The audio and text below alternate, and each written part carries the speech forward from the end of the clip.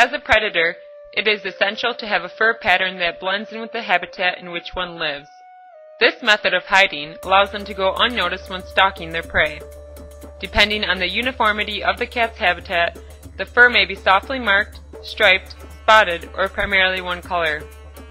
There are several different types of camouflage, two of which pertain to cats, cryptic coloration and disruptive coloration. Cryptic coloration allows the animals to blend in by being a similar color of their surroundings, often earth tones. An example of this would be the tawny fur coats of the African lions in the dusty savannas of Africa. Some other examples of cryptic coloration of cats are caracals, sand cats, and cougars. Cryptic coloration can also change with seasons. Canada lynx are a good representation of this, as in the winter they have a silvery gray coat to blend in with their surrounding snow, and in the summer they have a brown coat to blend into the wooded surroundings. The second example of a fur pattern is disruptive coloration. This type of camouflage helps break up the body's outline with the use of spots or stripes, making detection by a prey animal extremely difficult.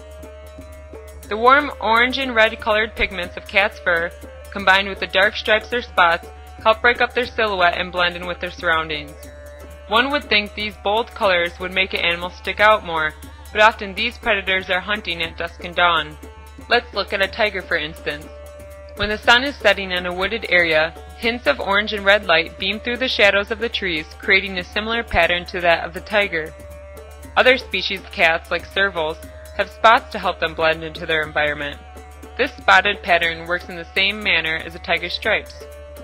The dark spots blend with the shadows coming through the vegetation, while the light tawny fur blends in with the surrounding savanna and marsh grasses of a similar color.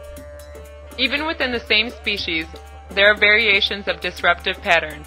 Let's use the tiger again as an example. The Sumatran tigers have the most stripes while Amur tigers have the least. This small difference allows each subspecies to be better adapted to their respective environments. Some species apply both adaptations of camouflage at different periods of their life. Instances of this are seen in the cougars and African lions. Typically, mothers will hide their cubs and kittens in brushy vegetation to decrease their visibility. Thus it is more advantageous for them to be spotted when born, resembling the dappled light filtering through the surrounding vegetation. These spots will fade once they reach maturity, and most of their coat will be of a neutral tone.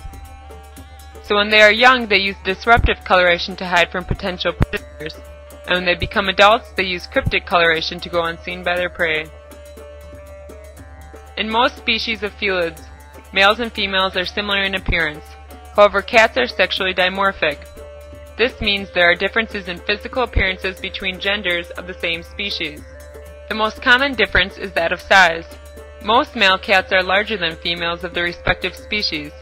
This can be much more noticeable in the big cats as males can be 50% heavier than females. In small felines, it is typical for males to weigh 20% more than females. In addition, male cats have generally larger teeth, broader heads, and a stronger bite force. Many biologists believe the difference in gender size has evolved due to sexual selection. Males have evolved to be larger to have an advantage in fighting other males for territories and mates. A good example of this is with the lions. If you have the same number of male lions in two coalitions, usually the stronger and larger male lion coalition will succeed, therefore becoming part of the pride and increasing their opportunity for mating. Smaller females require less food to maintain the energy needed for milk production and pregnancy. The most noticeable sexual dimorphism is in the African lions. Adult males have a mane of long hair covering their neck and down to their shoulders, while females do not. In recent studies, scientists found that females preferred males with darker manes. Research found that males with darker manes were typically older and had higher levels of testosterone. Higher levels of testosterone means increased levels of aggression. To female lions this is important as aggressive mature males offer good protection. But more importantly, the females are selecting the males that would provide superior genes to their young. When males approached other coalitions, they would often approach the male with the lighter mane. They avoided the males with the dark manes due to expected strength and experience, but would challenge the males with lighter colored manes because of the increased possibility of defeating them. While we may find feline spots, stripes, and manes to be beautiful, it is these phenotypical traits that allow the cats to be so successful.